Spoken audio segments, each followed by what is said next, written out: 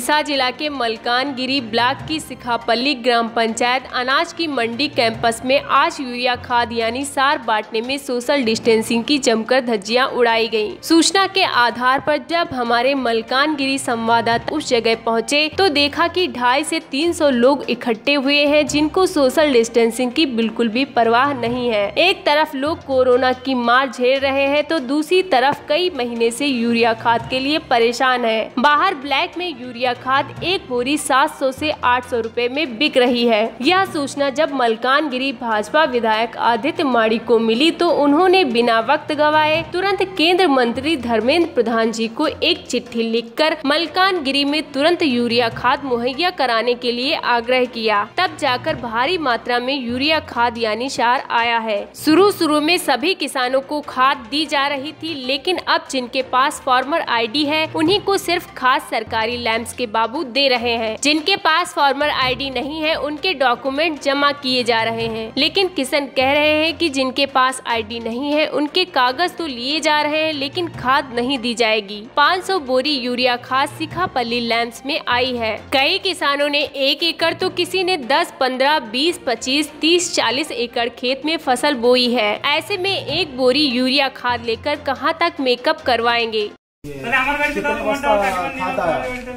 सार कितने बस्ता है यहाँ पे पाँच सौ। पाँच सौ बस्ता। तो आप किस हिसाब से दे रहे हैं लोगों को? मतलब फार्मर आईडी के अलावा आईडी आधार कार्ड और वो पता दे दिया नहीं जिनके पास फार्मर आईडी है नहीं तो उनको कैसे वो उनको कैसे मिलेगा? और इसको आइडेंटिफाई करेगा ग्राम सेवक हाँ।